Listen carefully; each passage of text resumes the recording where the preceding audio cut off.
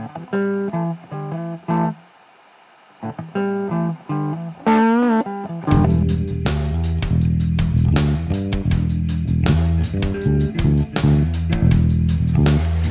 have a dream that one day this nation will rise up and live out the true meaning of its creed.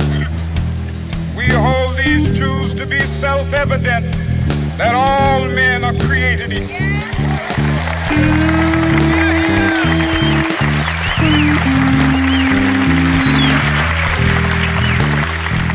I have a dream that one day on the red hills of Georgia, sons of former slaves and the sons of former slave owners will they be able to sit down together at the table of brotherhood. I have a dream that one day, even the state of Mississippi, a state sweltering with the heat of injustice, sweltering with the heat of oppression, be transformed into an oasis of freedom and justice. I have a dream.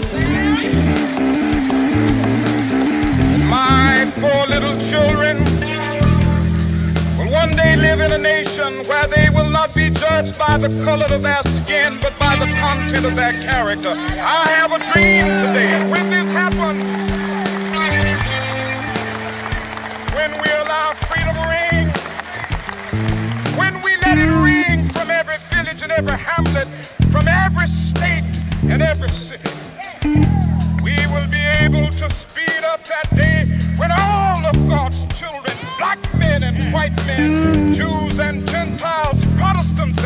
We'll be able to join hands and sing in the words of the old Negro spiritual. Free at last, free at last, thank God.